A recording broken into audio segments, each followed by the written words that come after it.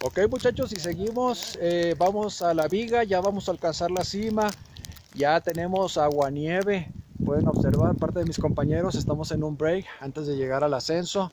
Y bueno, hay mucha neblina, ya al rato va a empezar la nieve, está pronosticado de 2 a 9 centímetros, en lo que es la parte alta.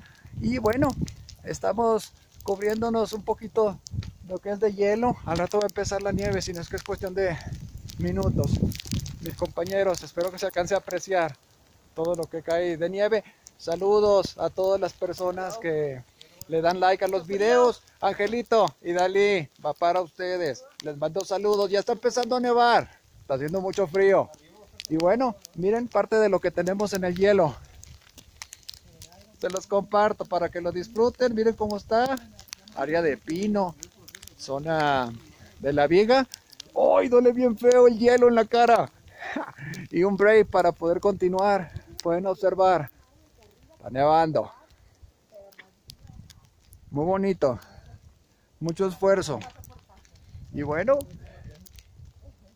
parte de, de lo que compartimos en la subida caminata de montaña, enero 2020, reto, subiendo la cumbre más alta del estado de Coahuila, la Viga, acá por los lirios y una bonita postal navideña.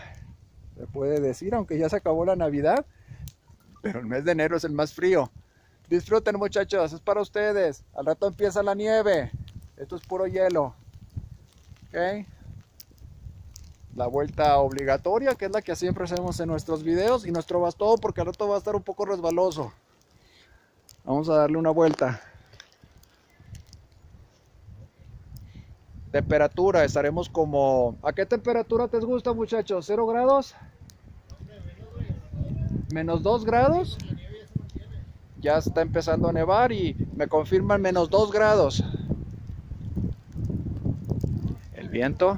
Y bueno, ya se están poniendo los árboles blancos. Vamos a continuarle. Falta la cima. Vamos a darle. Ya empieza más tupida la nieve. A seguirle. La cumbre más alta de Coahuila. La Viga. ¿Quieren continuar? Vamos para allá, a seguirle.